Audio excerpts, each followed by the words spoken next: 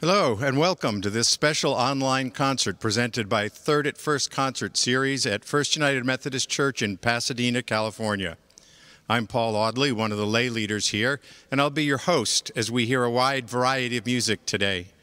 The annual series of free concerts for the community celebrates the gift of music and its power to entertain, move, and unite us.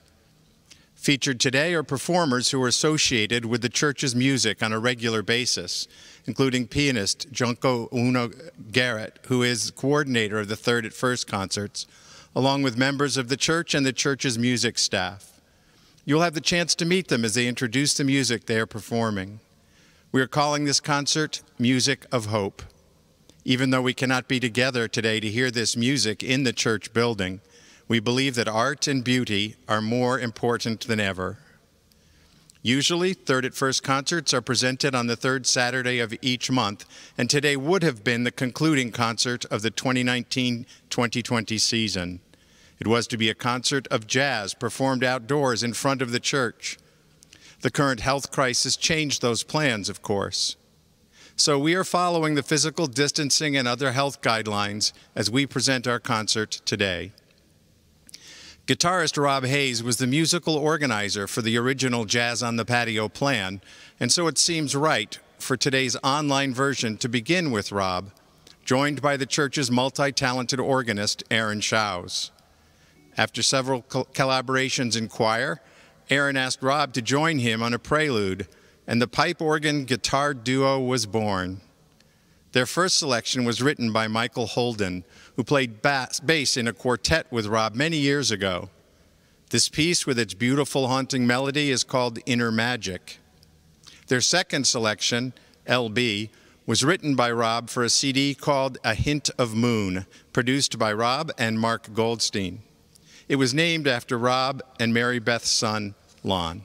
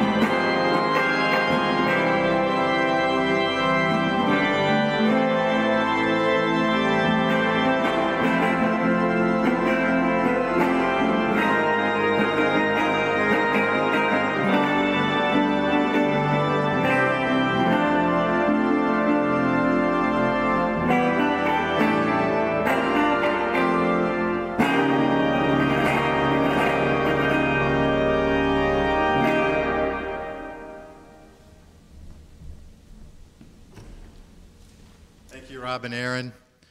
Next, we'll be hearing from David Garrett, a member of the church and a Los Angeles Philharmonic cellist. Walton's Passacaglia for cello came about through Walton's friendship with the great Russian cellist Mstislav Rostropovich. Rostropovich, though a prolifically busy soloist, had never played Walton's cello concerto. When Walton asked Rostropovich to add the concerto to his performance repertoire, Rostropovich said he would, if Walton would also write another solo piece for cello. This passacaglia is the result.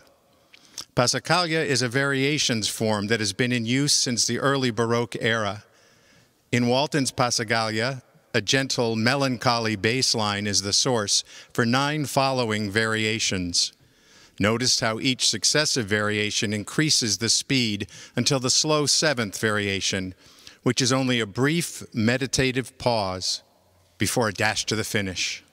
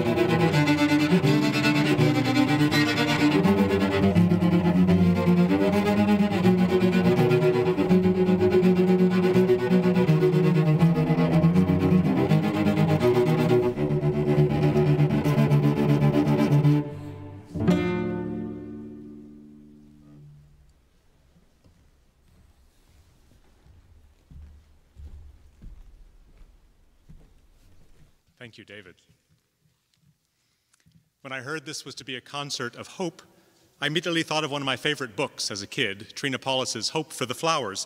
So I thought, why not play a few flower songs of Rachmaninoff? Lilacs and Daisies are just two of Rachmaninoff's 83 songs or romances that he wrote for voice and piano. In these two songs, Rachmaninoff thought the accompaniment really so lovely that the voice was actually accompanying him at the piano. He didn't have to make many changes, at all, uh, so he transcribed the songs for solo piano. In Lilacs, imagine going on a stroll through the morning, uh, through the dewy grass and fragrant shade defined with a lilacs cluster. In Daisies, the poet describes being surrounded by those white silk wings of the daisy petals. And don't forget that the name, poetic name for Daisy is Marguerite, uh, the name Marguerite. So this poem is really a romantic declaration of love. Now, what flowers don't come with their share of bees? So to end my set, I decided to play Rachmaninoff's transcription of Rimsky-Korsakov's opera, a musical interlude from his opera, The Tsar of Sultan, The Tale of Tsar Sultan. A magic swan has just turned the Tsar's young son into a bumblebee so that he can fly across the sea and find his father. Now, this little prince of a bee is fast, so I hope I can keep up with him.